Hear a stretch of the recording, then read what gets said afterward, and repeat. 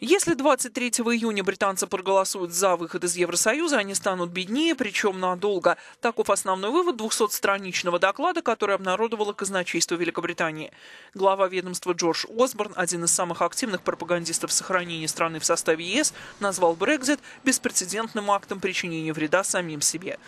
По оценкам британского Минфина, ВВП страны сократится на 6% к 2030 году. То есть каждая британская семья будет терять по 4,3 тысячи фунтов в год. Это почти 5,5 тысяч евро.